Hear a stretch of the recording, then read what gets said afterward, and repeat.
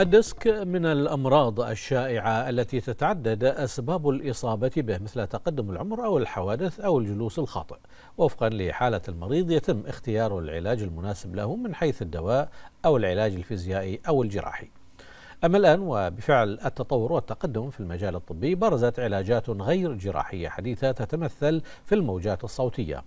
فمتى يتم اللجوء لها؟ وما مدى فعاليتها؟ التفاصيل في التقرير التالي. رحلة علاجية يبحث من خلالها المريض عن العلاج الأمثل ليخلصه من آلام لازمته وعرقلت من سير حياته الطبيعي.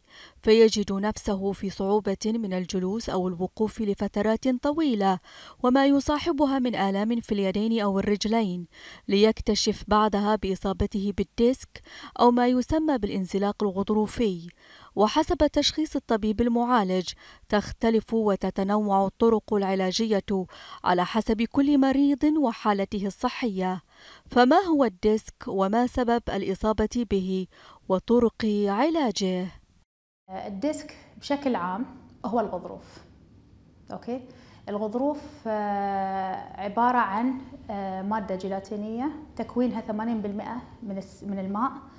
آه، مع تقدم العمر هذا التكوينة مالت الديسك أو الغضروف تقل كمية الماء. فيعني كل ما كان الواحد في الشباب معناته أن كمية الماء أكثر ما هو يكون في عمر متقدم. آه، وظيفة الديسك أساسا أو وظيفة هذا الغضروف هو منع الاحتكاك ما بين الفقرات ليونة وتسهيل حركة العمود الفقري. آه، بالإضافة أنه يعتبر مثل ال shock absorber اللي هو مثل أنه يمتص الصدمة أو الطيحة.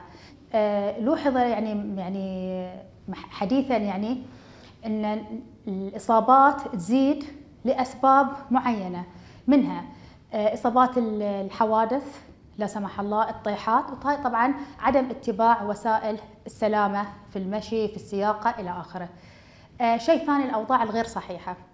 يعني الجلوس الخاطئ الوقفة الخاطئة هاي كلها تأثر على آه، الضغط على الغضروف نفسه. فبالتالي إن الديسك ممكن انه هو يتحرك من مكانه. فهاي النقطة لازم هم يراعونها خصوصا فئة الشباب.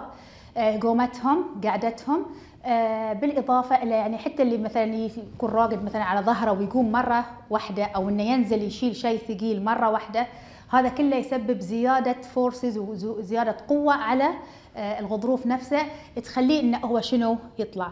آه، كثير في عندنا وسائل علاجية آه، تقنيات يدوية تحريك ميكانيكي تقي الواحد أنه هو يوصل لمرحلة الجراحة.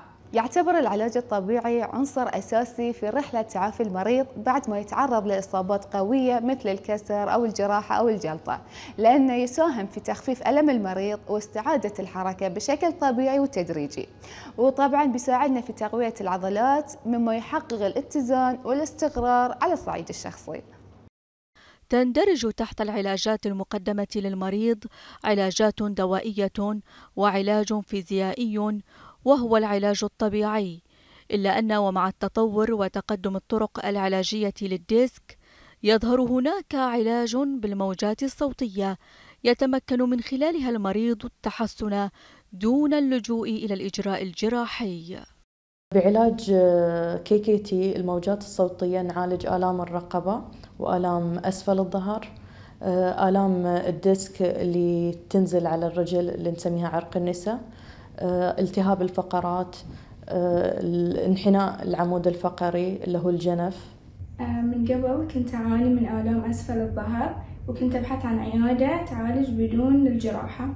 أول اختيار كان حق KKT جيت شخصوني بانحناء في العمود الفقري وفي ديسك في الفقرات. من أول ما جيت على طول بدوا وياي العلاج. كان يوم وترك وكان العلاج جدا ممتاز كنت أخذه. ويا دكتورة فاطمة.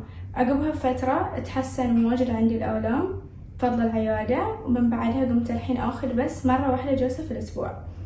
تقنية الموجات الصوتية هي تكنولوجيا عالية الجودة تعمل دون تدخل جراحي أو تخدير وقائمة على أدلة علمية تهدف إلى إعادة استقامة العمود الفقري من دون ألم بالإضافة إلى تعزيز تجديد الأنسجة على المستوى الخلوي.